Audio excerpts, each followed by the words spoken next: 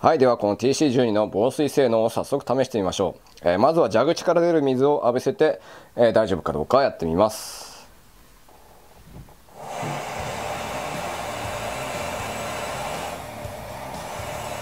いきます。どっから行く？お尻から？じゃあ行きます。おおジャブジャブジャブ。ちょっと汚れちゃったから洗ってるよって感じですかね。ジャブジャブジャブといっちゃいます。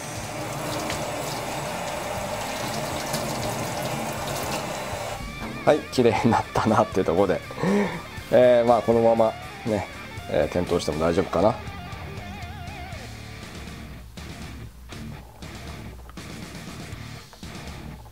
で点灯します。ポチ。おおちゃんとつきますね。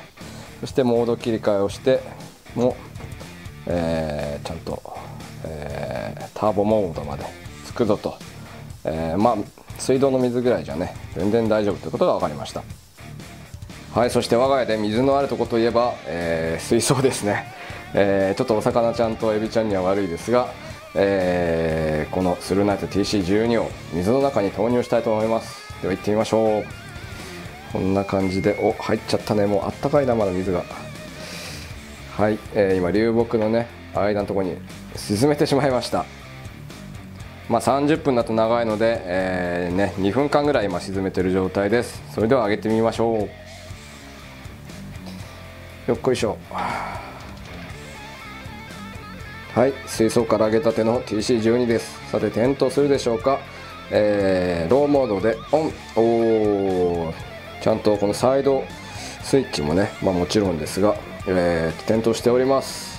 やったそしてなんとですね、えー、点灯したまま、えー、このように、えー、スイッチを照らすこともできます、まあ、もしね,、えー、ねどっか夜の沼とかでね何か落としてしまったという時なかなかないと思いますが、えこういう使い方もできるんじゃないでしょうか。はいというわけで水の中で、え沈めても大丈夫、えー、スルーナイトの TC12 の紹介でした。それでは本当にすごいなこれ。